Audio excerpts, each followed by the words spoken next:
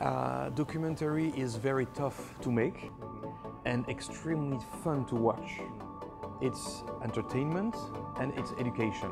Usually people come to me with films that are more than 50% financed, but they may not have international context, so they come up to me and I help them to, to finance their films. At the moment, we have 12 channels. We have a lot of uh, slots for documentaries. We believe that birth is still such an emotional um, subject and, and something everybody can relate to.